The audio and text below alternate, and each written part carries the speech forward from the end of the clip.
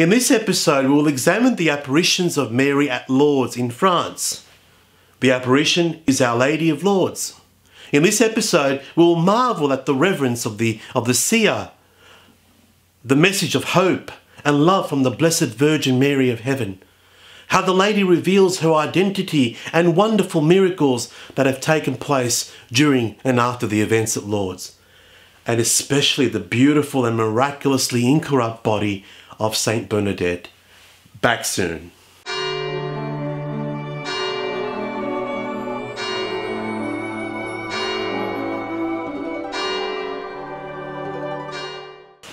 Welcome to Regina de educating for eternity. The Most Holy Mother of Heaven made a remarkable promise to the 14 year old Bernadette Soubirous, and it's very relevant to us as well. She says, quote, I cannot promise you happiness in this life, only in the next, close quote. This is the same fate for us here too. Bernadette Soubirous was born on January the 7th in 1844 in Lourdes, France. Lourdes is in a town southwest France in the foothills of the Pyrenees Mountains. Bernadette was the eldest of nine children, with three of her siblings passing away into eternal life soon after they were born. She was baptized on January the 9th in 1844, two days after her birth, and on the anniversary of her parents' wedding. Bernadette's godmother was Bernadette Casterot her mother's sister, whose name she would all eventually take on in religious life as Marie Bernard. Her father was Franco Soubirous, and he was a miller, and her mother was Louise, who also was a laundress.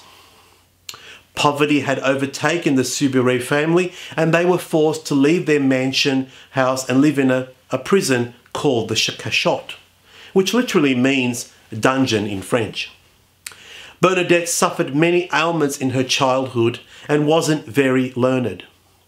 Bernadette, at the age of 14, was graced with a total of 18 visions, commencing with the first vision on February the 11th and the final vision on July the 16th, the feast of Our Lady in Mount Carmel. On February the 11th, 1858, Bernadette had her first vision of a beautiful lady. Whilst volunteering with her sister Marie and a friend whilst volunteering with her sister Marie and a friend to gather wood for the family at Massabielle, which is a place where they used to throw a lot of rubbish, she experienced her first vision.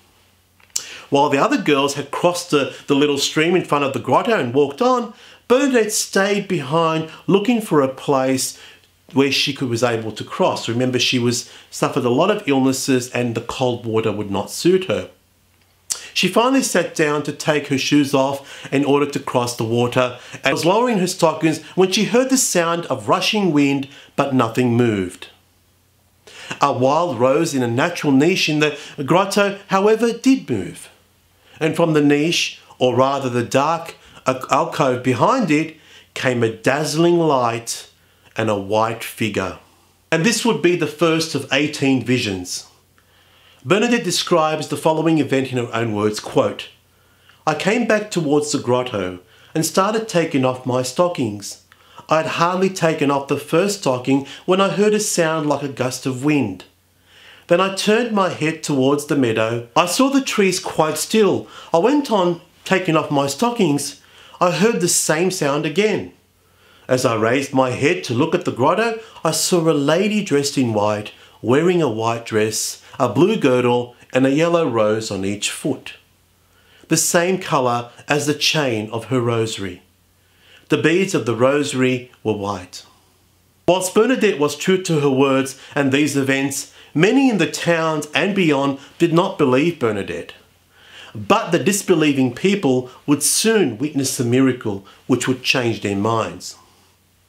We call this the miracle of the spring, which continues to flow today and has been directed to washing and drinking water. Scientists cannot find a source of the spring. In other words, they don't know where it's coming from. On the ninth apparition, Bernadette was asked by the lady to drink from the spring. Yet Bernadette could not see any spring.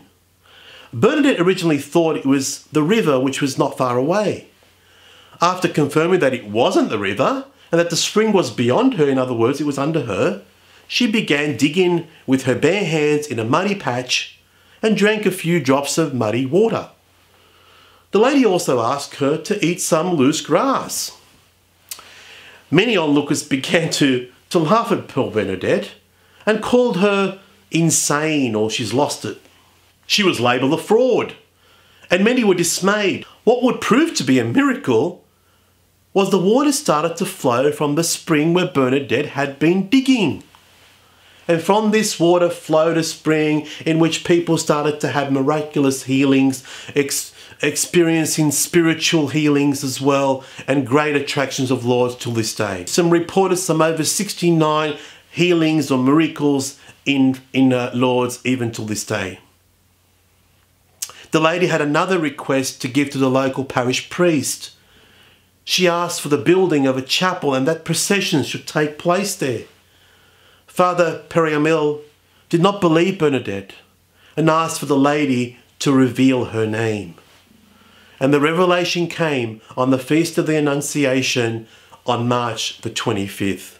During the apparition, our Lady said to Bernadette, quote, I am the Immaculate Conception. Due to Bernadette's lack of catechism and also education, she did not know what these words meant. And therefore, on her way to tell Father Peyramale, Peyramale she repeated the words inwardly to avoid forgetting them before speaking the words to her astonished priest. On Friday, July the 16th, Bernadette made one final pilgrimage to the Lady. During the apparitions of the Blessed Virgin, the Virgin Mary made several revelations to Bernadette. She asked Bernadette to do penance and pray for sinners.